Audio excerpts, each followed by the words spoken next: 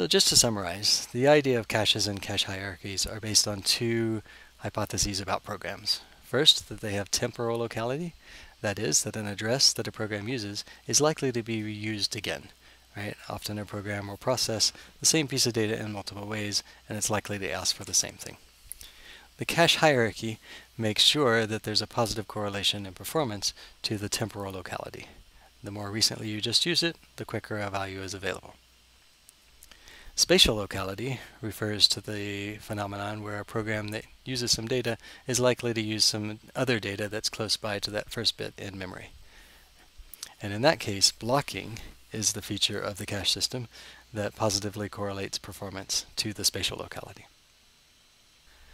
My random versus sequential accesses provided some picture of memory. The book provides a more complete picture through this test program that can run with different numbers of elements and different strides. So the strides, um, where I had just fully jumping all over memory versus walking randomly through it, a stride is a more fine-grained control that, that uh, either accesses the next byte, or the next integer at least, um, or two integers later, or four integers later, and so on. So this program just loops over a certain number of elements with a certain stride, and the results in terms of performance can be plotted this way. In this graph, um, higher is faster, and you can see that when we have, let's see, the different, uh, higher is faster, so that's performance. Um, this axis uh, along the left edge is the stride.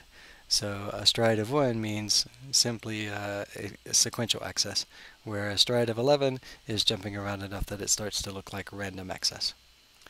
Uh, on the right-hand side, the right-hand axis corresponds to the size of data that we're touching. So only looking at 32 kilobytes um, repeatedly, or all the way up to 128 megabytes in this picture. What you see along the back edge, where things are done sequentially, is generally higher performance, and that performance degrades the more you jump around. That is, as you move um, from the back left towards the front, uh, performance goes down. Meanwhile, performance also goes down when you go from smaller memories to larger memories, larger amounts of memories. And in particular, these, uh, these ridges here uh, correspond to different cache sizes. So right around 32 is the L1 cache, right around 256 is the L2 cache, um, right around 3 megabytes is the L3 cache. So there are relatively fat, flat regions in here where we're gradually filling up the cache before we bump up to the next layer in the cache hierarchy.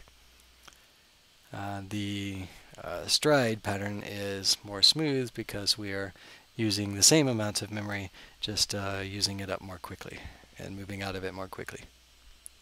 Uh, the book points out that this very flat region here uh, in the back, where even over a couple of cache sizes you get the same performance, that's some special hardware uh, that's in the, the Haswell architecture that we don't really uh, touch on here, but it has to do with making sequential access work even better.